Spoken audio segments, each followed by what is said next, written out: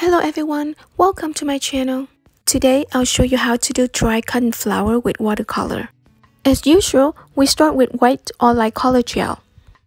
Then apply matte top coat and cure for 60 seconds and then remove the tacky layer.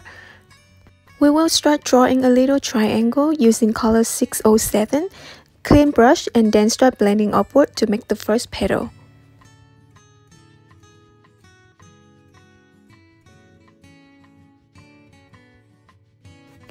We will repeat to do so for the second one right next to the first petal.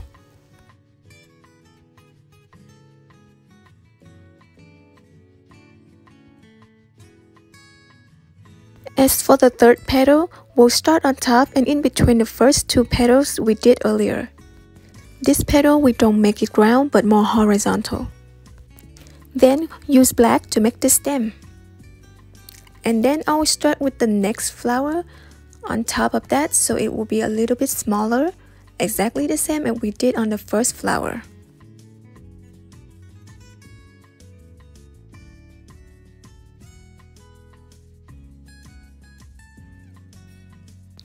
Make sure you blend them well for a 3D ombre effect.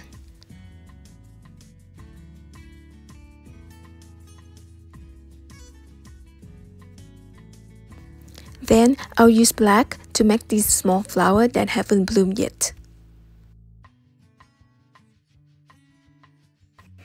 After we're done, I'll start with the light work again.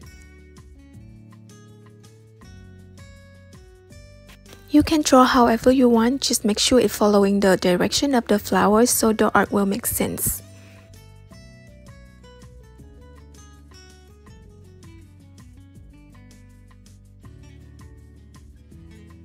Then I'll add glitter on top and bottom of the art and put shiny on top of just the glitter part.